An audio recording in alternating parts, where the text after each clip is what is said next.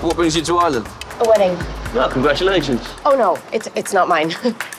it's my friend's.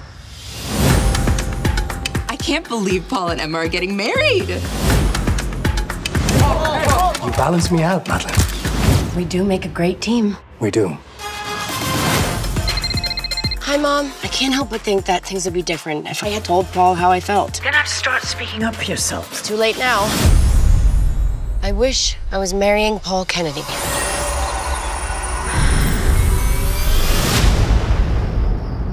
The? Oh! Paul? Emma! Have you seen Paul? I haven't seen him anywhere. How did he get in there? What is wrong? I am not the one who's getting married. She is.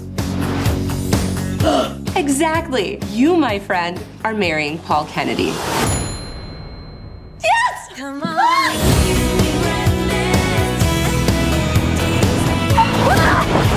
Hello. It's you. How'd you get the ring on your finger? You got down on your knee and you proposed to me. I proposed? I mean, yes, of course, of course. Yes, I proposed. My publicist said that we should get some PR pictures in some idyllic Irish backdrops. He thinks it'll help boost my sales figures. Oh, so not just a wedding, but a good PR event too. Yeah, exactly. If you're gonna spend the day with us tomorrow, can you leave your snark at home? I'll do my best. It's like a dream, although I'm not a Hey, you're pretty good. I'd love to get married up here. Why don't you? I don't want to be difficult. I'd hardly call having a voice at your own wedding being difficult, would you?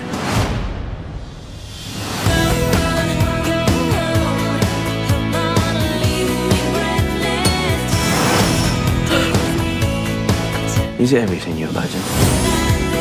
I know this might sound strange, but I'm not sure this is supposed to be my life.